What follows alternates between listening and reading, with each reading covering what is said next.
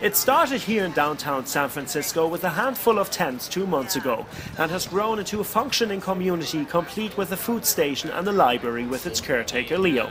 His story is all too common these days. Well, the bank used a legal loophole to take my house when I'm like 13, you know, like 13 months away from paying it off. So basically they came up and told me, says, thank you for paying it down so far, but we're still taking it. Ryan, a San Francisco native, is one of the organizers of this protest and wants to make sure that the message is heard around the globe. We have power, Wi-Fi internet connection, uh, word processing, digital cameras, video cameras, we can live stream. Basically, it's how we communicate with the rest of the world. And we're able to have this universal line very autonomously. This is what typical housing looks like for about 200 occupiers here in downtown San Francisco. And I must say, it's actually very cozy. They thought of everything.